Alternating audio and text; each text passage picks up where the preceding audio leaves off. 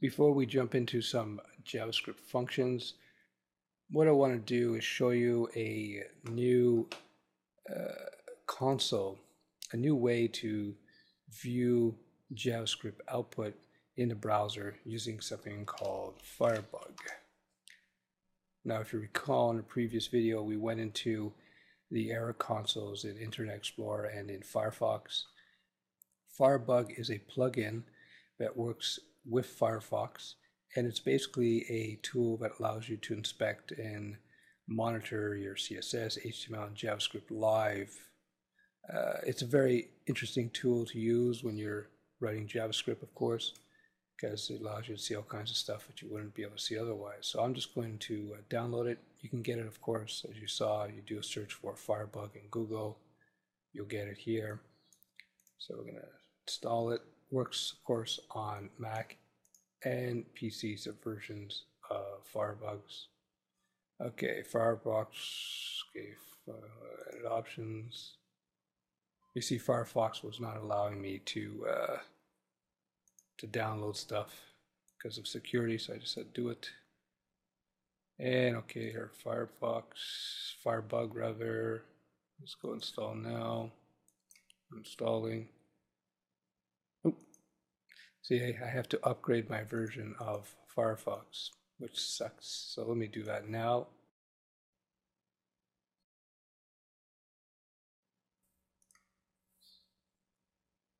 All right, let's try this again. All right, install now. All right, it's working. Restart, okay, restart Firefox. All right, rock and roll. Firebug is now installed. Let's uh, load up a basic page. All right, let's take a look at the code.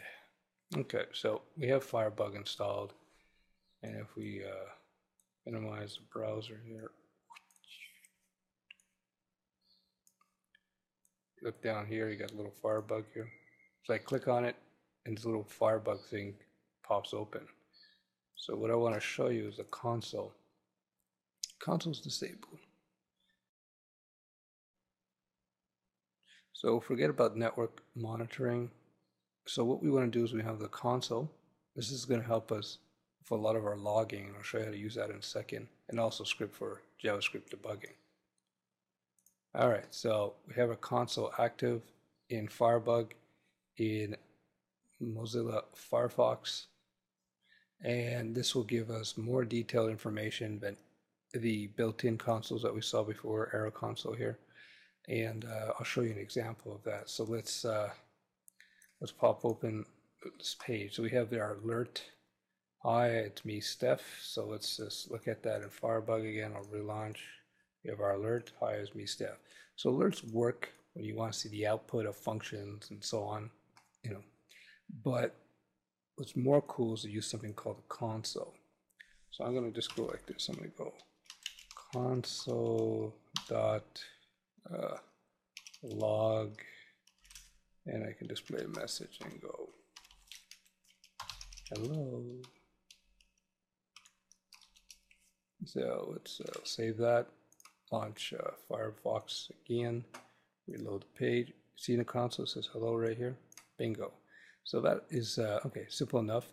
It's easier to have the console than always having to click OK on the alert box. And, you know, so you can also use it to evaluate uh, expressions in, um, in, uh, in JavaScript. What's an expression? Sort of like a mini equation or programmatic equation. Go 2 uh, plus 2. I'll hit enter. So let's save that, reload, see if it gives 4, right? Now we can do that with, uh, as you know, every programming language is a built-in mega calculator, of course, can do all kinds of mathematical equations. And uh, I'm not going to get into that in this video because most of us won't be using JavaScript for math, but it's just something, uh, something to note. If you look at the error console, we can do that here. We can write in console. We can say 2, oops, 2 plus 2 plus, uh, 2 plus 2. We hit enter, 4. That's kind of cool. Uh, we could do things like is uh, 3 less than 4. Hit enter. Oh, evaluate rather. Hmm, it should have given me the answer false. Oh, that's why I have it set to errors only. Go to all. Okay, there we go. So the error console is cool, but if you can just see it down here, this is much easier. So, so I can go, uh, you know, 4 less than 3, hit enter, launch Firefox, we get false, of course. So as you can see, the console allows us to inspect um, to excuse me, to output stuff to console using the console.log uh, function. And this is something that only works if you got the uh, JavaScript uh, Firebug thing going here. And uh, so I recommend Firebug really. And for most of the uh, videos in the JavaScript series, I'm going to be using the uh, Firebug and Firefox because it's so much easier to work with.